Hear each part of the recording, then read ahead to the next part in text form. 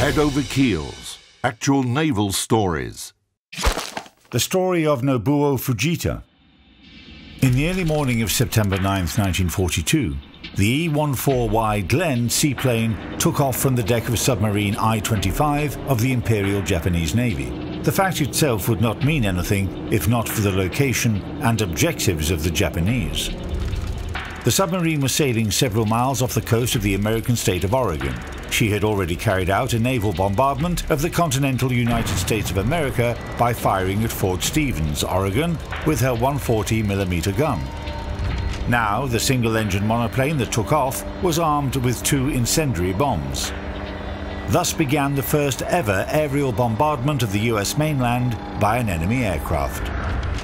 The plane was piloted by 31-year-old warrant officer Nobuo Fujita. This mission had been proposed by himself as a response to the Doolittle raid. The importance of this assignment was emphasized by the fact that Fujita took the 400-year-old family sword with him.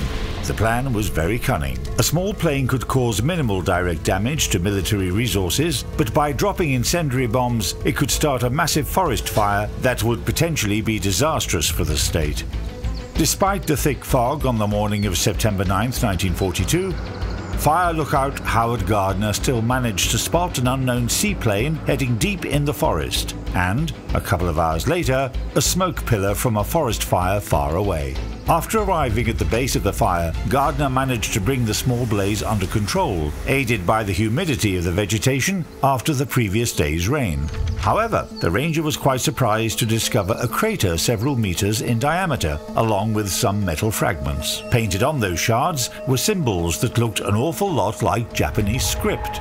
The submarine's commander sent home the message about the bombing. The next day, the morale boosting event was published on the front page of newspapers across Japan, and Nobuo Fujita was hailed as a hero.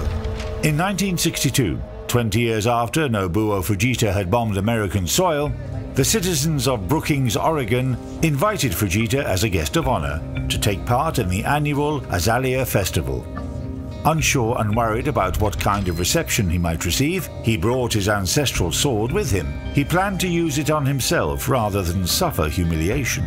However, upon seeing the warm reception that marked his arrival, he gladly donated the sword to the city council as a symbol of peace and friendship between two former enemies.